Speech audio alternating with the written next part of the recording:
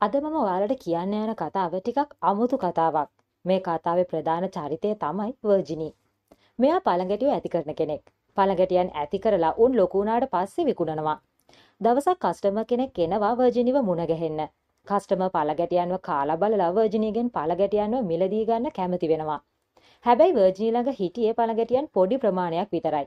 කස්ටමර්ට ඊට වඩා ප්‍රමාණයක් මිලදී ගන්න ඕන වුණා. හැබැයි අවාසනාවට වර්ජිනීට ඒ තරම් පළගැටියන් දෙන්න පුළුවන්කමක් නැහැ. ඒ නිසා එයා ගනුදෙනු එතනින් නතර කරනවා. වර්ජිනී එයාගේ යාළුවා කරීම්ට කෝල් එකක් අරගෙන සිද්ධ වුණ දේ ගැන කියලා කරීම්ගෙන් උදව් ඉල්ලනවා. ඊළඟ සීන් එකෙන් අපිට බලා ගන්න පුළුවන් වර්ජිනීගේ දුව ලෝරව. ලෝරගේ පන්තියේ යාළුවෝ ලෝරට නිතරම විහිළු කරනවා. මොකද ලෝරගේ අම්මා පළඟැටියන් ව්‍යාපාරයක් කරන නිසා. මේ නිසා ලෝරා පිරිමි ළමයෙක් එක්ක රණ්ඩුවකට පැටලෙනවා. හැබැයි ඒ වෙලාවේ වර්ජිනී එතනට ඇවිත් ලෝරව ගෙදර අරගෙන යනවා. ලෝරා තාමත් ඉන්නේ තරහින්. වර්ජිනී ලෝරට කියනවා මම පළගැටියෝ සේරම විකුණනවා. ඊට පස්සේ අපිට පුළුවන් මේ නගරය දාලා වෙන තැනකට යන්න. එතකොට අපේ ජීවිතවලට මේ වගේ ප්‍රශ්න එන එකක් නැහැ කියලා. වර්ජිනීගේ කතාවට ලෝරට ලොකු සතුටක් දැනුණා. ඊළඟ දවසේ තවත් කස්ටමර් කෙනෙක් පළඟැටියන් විලදී ගන්න එනවා. හැබැයි මේ මිනිසයා පළඟැටියන් වෙනුවෙන් දෙන්නේ ගොඩක් අඩු මුදලක්. වර්ජිනීට මේ වැඩේට හොඳටම තරහ යනවා. එයා අර මිනිසයාට බැනලා පළඟැටියන් ඉන්න කූඩුව ඇතුළට ගිහින් ඒ සේරම කඩලා බිඳලා දානවා. නොහිතපු විදිහට වර්ජිනී ලිස්සලා ගිහින් බිම වැටිලා එතනම සිහිය නැති වෙනවා. ආපහු සිහිය එද්දි එයාගේ තුවාල වුණ අතේ පළඟැටියන් වහලා ඉන්නව වර්ජිනී දකිනවා. ලේ පැල්ලම් තිබුණ තැන්වල පළඟැටියන් වහලා ඒ ලේ උරා බොනවා. පළඟැටියෝ කියන්නේ සාමාන්‍ය ශාකභක්ෂක සත්ත්ව විශේෂයක්. මේ විදියට උන් ලේවලට ඇදිලා යන්නේ ඇයි කියලා වර්ජිනීටත් හිතා ගන්න බෑ. පළඟටියන් එයාගේ තුවාලේ වහලා හිටපු නිසා තුවාලය ආසාදනය වෙන්න පටන් අරන්. එදා රෑ කරීම මුණ ගැහිලා අලුත් කස්ටමර් කෙනෙක් හොයාගන්න විදිහක් ගැන වර්ජිනී අහනවා.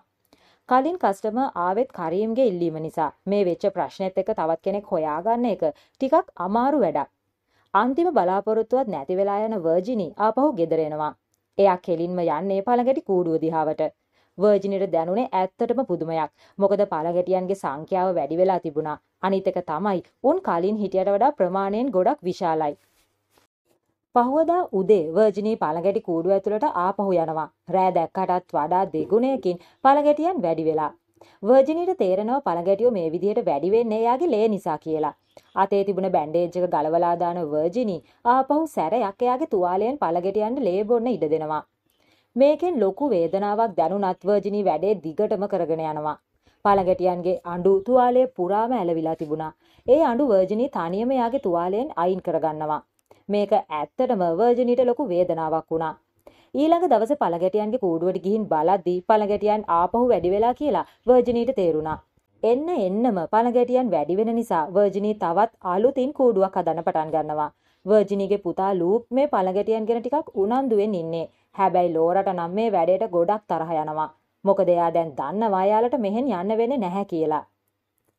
ලූක්ගේ කාමරේ එයා පළගැටියන් කිහිප දෙනෙක්ව ඇති කරා. ලූක් තවත් පළගැටියන් කිහිප දෙනෙක්ව අලුතින්නේ වීදුරු කූඩුව ඇතුළට ගෙනත් දානවා. ටික වෙලාවක් යද්දී අලුතින් ගෙනත් දාපු පළගැටියන් කලින් කූඩුවේ හිටපු පළගැටියන්ව කාලා දාන්න පටන් ගත්තා. දෙවනි පාරටත් වර්ජිනී එයාගේ තුවාලයෙන් පළගැටියන්ට ලේ උරා බොන්න සලස්වනවා. ඊළඟට එයා යන්නේ කරීම් ළඟට. ඒ තවත් කස්ටමර් කෙනෙක් හොයාගන්න බලාපොරොත්තු කරීම් දන්නවා එන හැම කස්ටමර් කෙනෙක්ම පළගැටියන්ට ගෙවන්නේ ගොඩක් අඩු මුදලක් කියලා. ඒ නිසා එයා කැමති නැහැ අලුතින් කස්ටමර්ස්ලා හොයන්න. දැන් වර්ජිනී තීරණය කරනවා කලින් එයා ළඟට ආව කස්ටමර් කෙනෙක්ව හම්බ වෙන්න යන්න. කලින් පළගැටියන්ට වඩා මේ සැරේ පළගැටියන්ගේ ලොකු වෙනසක් තිබුණා. ඒ නිසා වර්ජිනී ගෙනාපු සම්පූර්ණ තොගයම මේ මිනිසයා සල්ලි දීලා අරගන්නවා. කෙලින්ම ගෙදරට එන වර්ජිනී ඊළඟට කරන්නේ ලේ පැකට් වගේක් ඕඩර් කරන එක. එතකොට එයාට පුළුවන් පළගැටියන්ට මේ ලේ දෙන්න. ඩිලිවරි කරන පිරිමි ළමයා වර්ජිනීගෙන් අහනවා ඔයාට මොකටද මේ තරම් ලේ? ඔයා මොකද්ද මේවට කරන්න යන්නේ කියලා. වර්ජිනී පළගැටියන්ට කෑම විදිහට මේ ලේ දෙන්න යනවා කියලා කිව්වත් පිරිමි ළමයා ඒක වැඩිය ගණන් ගන්නෙ නැහැ. ඊට පස්සේ වර්ජිනී ලේ කෑන් අරගෙන පළගැටි කුඩුවට ගිහිල්ලා අර ලේ පළගැටියන්ට දෙනවා. ලෝරගේ යාළුවා සැමී ලෝරව බලන්න එයාගේ ගෙදර එනවා.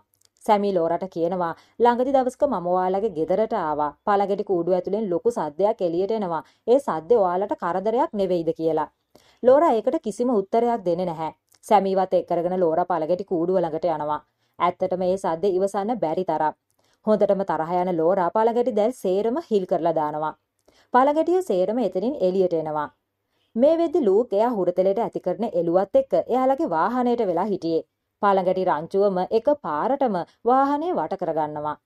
වාහනේ ඇතුළට වෙලා හිටපු නිසා ලූක්ට කරදරයක් වෙන්නේ නැහැ. හැබැයි යාගේ එළුවා හිටපු තැනින් අතුරුදහන් වෙනවා. ලූක් ඉක්මනට ගිහින් වර්ජිනීට මේ ගැන කියනවා. වර්ජිනී ලෝරට සහ ලූක්ට කියනවා ගෙදරටම වෙලා ඉන්න කියලා. සැමීට ආපහු ගෙදර යන්න කියලත් කියනවා. වර්ජිනී යනවා නැති වුණ එළුවව හොයන්න. ටික දුරක් යද්දි වර්ජිනී දකිනවා පළඟැටියෝ එළුවගෙන් භාගයක්ම කාලා දාලා තියෙනවා. වර්ජිනීටත් මේ සිද්ධ වෙන්නේ මොකද්ද කියලා හිතා ගන්න බෑ. ආපහු ගෙදර එන වර්ජිනීගෙන් ලූක් එළුව ගැන අහනවා. වර්ජිනී ලූක්ට කියන්නේ එළුවව හම්බ වුණේ නැහැ. ඌ කොහේ හරි පැනලා යන්න ඇති කියලා. මේ වෙලාවේ ලෝරගේ මූණේ තිබුණ පෙනුමෙන් වර්ජිනී සිද්ධ වුණ හැම දෙම තේරුම් ගත්තා. වර්ජිනී ලෝරව යාගේ කාමරයට දාලා ලෝරට හොඳටම බනිනවා. ලෝරා හොඳටම බය වෙනවා. ඒත් එයා කරපු දේ බරපතලකම ලෝරට තේරුනේ නැහැ. ලෝරට දීපු දඬුවම ගැන වර්ජිනීටත් දුකයි. ඒ නිසා එයා ඊළඟ දවසේ ට්‍රිප් එකක් යන්න ප්ලෑන් කරනවා. ලෝරා එක වෙනදටත් වඩා හොඳින් කතා කරනවා. මෙයාලා යන්නේ බීච් එකට. ලෝරා අහම්බෙන් වගේ දකිනවා වර්ජිනියගේ ඇඟේ තියෙන තුවාල කැලලි. ලෝරා ගැන ඇහුවත් වර්ජිනියකට උත්තරයක් දෙන්නේ නැහැ. මේ තුවාල කැලරි ඇති උනේ පළගෙටියන්ට Tamanගෙම ඇඟ කපාගෙන ලේ බොන දුන්න නිසා. බීච් එකට ගියපු නිසා තුන්දෙනාම හිටියේ ගොඩක් සතුටින්. ගෙදර යද්දි කරීම් ඇවිත් හිටියා. කරීම් ලෝරට අලුත් ස්කූටර් එකක් අරගෙන ඇවිත්. වර්ජිනී මේ හැම දෙයක්ම කරන්නේ එයාගේ දරුවන්ගේ සතුට වෙනුවෙන්. වර්ජිනීගේ බිස්නස් එක මේ වෙදි හොඳ විදිහට කෙරුණා. හැබැයි එයා ආපහු ලේ ඕඩර් කරන්න හදද්දී වර්ජිනීට ලයිසන් එකක් නැති නිසා ලේ දෙන්න බැහැ කියනවා. වර්ජිනී ලෑස්ති වෙන්නේ තවත් අලුතින් පළගැටි කුහුඩු කිහිපයක් හදන්න. ඒ වෙනුවෙන් මුදුලේ තියෙන ගහක් කපලා දාන්න සිද්ධ වෙනවා. හැබැයි ලූක් මේ වැඩේට කැමති නැහැ. වර්ජිනී ලූක්ට කෑ ගහලා එතනින් යන්න කියනවා. දැන් වෙන කරන්න දෙයක් නැති නිසා වර්ජිනී එයාගෙම ලේ අරගන්නවා පළගැටියන්ට කෑමට දෙන්න. කරිම්ටත් මේ වෙදි සිද්ධ වෙන දේවල් ගැන අමුත්තක් දැනුණා. පළඟැටියෝ වේගයෙන් බෝ වෙනවා වගේම වර්ජිනී එන්න එන්න අසනීප වෙන්න පටන් ගත්තා. වර්ජිනී කරීම්ට එයාගේ ගෙදර එන්න එපා කියනවා. උවමනාවක් නම් විතරක් කෝල් එකක් දෙන්න කියනවා. කරීම්ට තේරුමක් නැහැ සිද්ධ වෙන දේවල් ගැන. ඉතින් කරීම් සද්ද නැතුව එතනින් යන්න යනවා. මේ විදිහට දිගින් දිගටම පළගැටියන්ට ලේ හොයන එක ලොකු ප්‍රශ්නයක්. එළියට වෙලා ඉද්දි වර්ජිනීට ඇහෙනවා බල්ලෙක් බුරන සද්දයක්. වර්ජිනී ඒ බල්ලව අල්ලගෙන පළඟැටි කූඩුව ඇතුළට දානවා. පොඩි වෙලාවක් ඇතුළත පළඟැටියෝ බල්ලව සම්පූර්ණයෙන්ම කාලා දානවා. පහුවදා වර්ජිනී බල්ලගේ ලේ සුද්ධ කරද්දි ලෝරා එතනට එනවා. හැබැයි එයා ලෝරට ඇතුළට එන්න දෙන්නේ නම් නැහැ. ලෝරා වර්ජිනීට කියනවා කස්ටමර් කෙනෙක් එයා වෙනුවෙන් එළිය බලන් ඉන්නවා කියලා. වර්ජිනීගේ බිස්නස් එක දවසින් දවස දියුණු වෙනවා. එදා රෑ වර්ජිනී කැලේට යනවා. එයා එළදෙනෙක් මරලා ඌව කෑලි කරනවා පළගැටියන්ට කන්න දෙන්න. ඊළඟ දවසේ ලූක්ගේ ඉස්කෝලෙන් ට්‍රිප් එකක් යනවා. හැබැයි වර්ජිනී එදා උදේ ඇහැරුණේ නැහැ. ඉතින් ලූක්ව ඉස්කෝලේට අරගෙන යන්න සිද්ධ වුණේ ලෝරට. ලූක්ට අම්මා ආවෙ නැති එකට දුකයි. ලෝරට සහ ලූක්ට මේ වෙද්දි තේරිලා තිබුණේ අම්මා එයාලට නොකියන මොකක් හරි දෙයක් තියෙනවා කියලා. ලෝරා ආපහු ගෙදර ආවත් වර්ජිනී ගෙදර පේන්න හිටියේ නැහැ. ගෙදර හොයලා බැරිම තැන ලෝරා යනවා පළඟැටි කූඩුව බලන්න. ලෝරට දකින්න ලැබෙන්නේ අදාහ ගන්න බැරි විදිහ දෙයක්. වර්ජිනීගේ ඇඟ සම්පූර්ණයෙන්ම පළගැටියන්ගෙන් වැහිලා. වර්ජිනී එයාගේ ඇඟෙන් පළගැටියන්ට ලේ බොන්න දෙනවා. ලෝරා හොඳටම බය වෙනවා. එයා ඉක්මනට ගෙදර දුවලා ගිහිල්ලා කරීම්ට මැසේජ් එකක් දානවා. කරීම් ගෙදරට එද්දි වර්ජිනී හිටියේ ගොඩක් දුර්වල වෙලා. ඒ නිසා කරීම් ලෝරව සහ වර්ජිනීව එයාගේ ගෙදරට අරගෙන යනවා. කරීම්ගේ ගෙදරට ගියාට පස්සේ එයා ලෝරගෙන් සිද්ධ වුණේ මොකද්ද කියලා අහනවා. ඒ වෙලාවටම වර්ජිනී එතනට එනවා. කරීම් වර්ජිනීගුණුත් එක එක ප්‍රශ්න අහනවා. වර්ජිනී කිසිම දෙයක් කරීම්ට කියන්නේ නැහැ. ඒකෙන් සිද්ධ වුණේ වර්ජිනීගේ තරහා තවත් වැඩි වුණ එක. අඩුම ලෝර වර්ජිනී එක්ක අපහු ගෙදර යන්නවත් කැමති වෙන්නේ නැහැ. රෑ වෙද්දි එදා වර්ජිනී පළගැටියන්ට කන්න දුන්න බල්ලගේ අයිතිකාරයා බල්ලව හොයාගෙන වර්ජිනීගේ ගෙදර පැත්තට එනවා. අයිතිකාරයාට තේරෙනවා බල්ලා අනිවාර්යෙන්ම මේ ගෙදර පැත්තට ඇවිත් තියෙනවා කියලා. එයා කෝකටත් කියලා පළගැටි කූඩුව ඇතුළ බලනවා. පළගැටියන්ව දකින්න මේ මිනිස්සයා හොඳටම බය වෙනවා. බය නිසාම එයා වැටෙන්න යනවා. එක පාරටම පළ ගැටියෝ සේරම අර මිනිස්සයව වට කරගන්නවා. කරීම් ආපහු ලෝරව සහ වර්ජිනීව එයාලගේ ගෙදරට අරගෙන එනවා. මේ අතරේ කරීම් වාහනෙන් බැහැලා පළඟිටි කූඩුව පැත්තට යනවා. කරීම් දකිනවා මිනිස් මල සිරුරක් කූඩුව ඇතුලේ තියෙනවා. කරීම් බය වෙලා එළියට එද්දී කරීම් ඉස්සරහට එන්නේ වර්ජිනී. දැන් කරීම්ට හොඳටම පැහැදිලි මෙතන සිද්ධ වෙන දේ ගැන. වර්ජිනී දන්නේ නැහැ කරීම් දැකපු දේ. එයා හිතන්නේ ලෝරා හැම දෙයක්ම කරීම්ට කිව්වා කියලා. ඉක්මනට වාහනය ළඟට යන කරීම් වාහනේ තිබුණ පෙට්‍රල් කෑන් එකක් අතට අරගෙන පළගැටි කූඩුවලට පෙට්‍රල් වත් කරලා ගිනි තියනවා. මේ ගින්න නිසා පළගැටියන් විශාල ප්‍රමාණයක් කූඩුවෙන් එළියට යනවා. වර්ජිනී කෑ ගහගෙන ගින්න පැත්තට දුවනවා ගින්න නිවන්න හිතාගෙන. කූඩුවෙන් නිදහස් වුණ පළගැටියෝ කෙලින්ම එන්නේ කරීම් ඉන්න පැත්තට.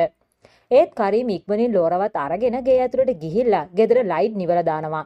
හැබැයි වර්ජිනී තාමත් ඉන්නේ එළියේ. ලෝරා කෑ ගහලා වර්ජිනීට ගේ ඇතුළට එන්න කියනවා. ගේ ඇතුළට යන වර්ජිනී දකින්නේ පළගැටියෝ භාගයක් කාලා දාලා තිබුණ කරීම්ගේ මල සිරුර. ලෝරා වර්ජිනී එන්න කලින් ගෙදරින් පැනලා කැලේ පැත්තට දුවනවා. තාමත් පළගැටිය ලෝරාගේ පස්සෙන් යනවා.